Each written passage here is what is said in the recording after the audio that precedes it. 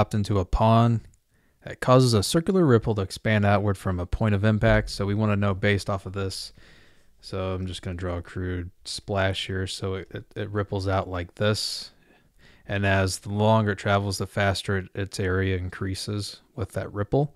So we want to know how fa fast at an exact point. So when the radius is at 20 centimeters, so when we have a radius at 20 centimeters, based off of this, and it's increasing at a rate of four centimeters a second. We want to know exactly at that point, um, right here at four centimeters a second, how fast the area is increasing.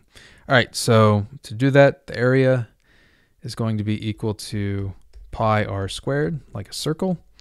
But we take the derivative here, and even though pi is an irrational number, it's still a constant.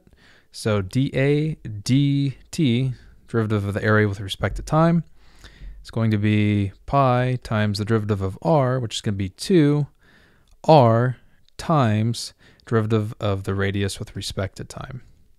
So now what we know is um, we know it's increasing. Okay, so r, the current radius, dA dt is going to be equal to pi times 2 times the current radius, which is equal to 20 centimeters, times the current rate with which it's changing at 4 centimeters a second. So this ends up being equal to 2 times 20 is 40, times 4 is 160. So we get 160, and we'll just leave pi as it is, uh, centimeters per second.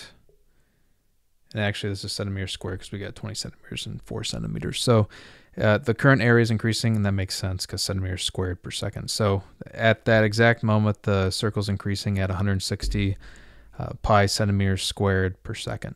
All right, that's it. I hope this problem helped you out. Appreciate you taking the time to watch, and you have yourself a great day.